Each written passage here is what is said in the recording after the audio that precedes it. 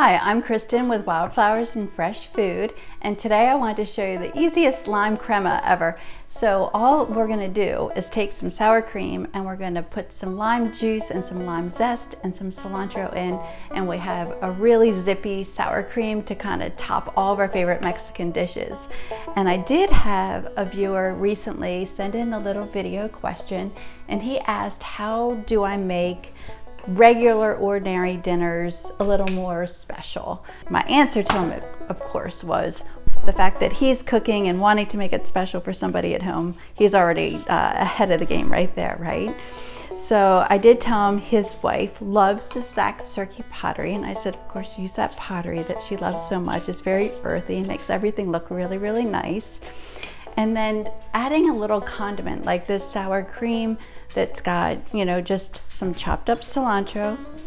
And then also too, we talked about, you know, using a cloth napkin versus paper, using um, some little votive candles at the table, all those things are especially sweet, um, but it's also really nice to go outside and have a little outdoor picnic.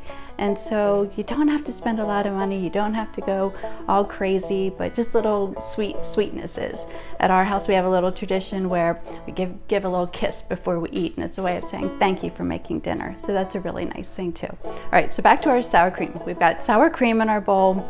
I'm gonna put in some lime zest just gonna, you can use a grater too. You really just want this little outer part.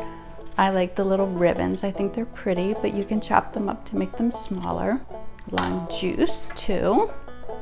I like to put a fork in the citrus and just kind of rock it back and forth and it gets a lot of the juice out. Okay, I'm gonna put in that cilantro too. And let me just grab a little bit of salt.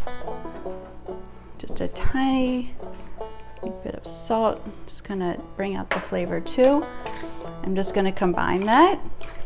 This is such an easy one and it adds flavor. They're gonna think you're super clever.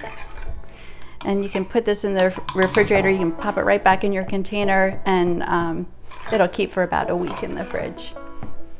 All right, so that is lime crema also known as lime sour cream. Um, I'm Kristen with Wildflowers and Fresh Food. Thanks for watching today. Please subscribe, keep you in the loop. And you can follow me on Instagram, on Facebook, and I've got the website, Wildflowers and Fresh Food.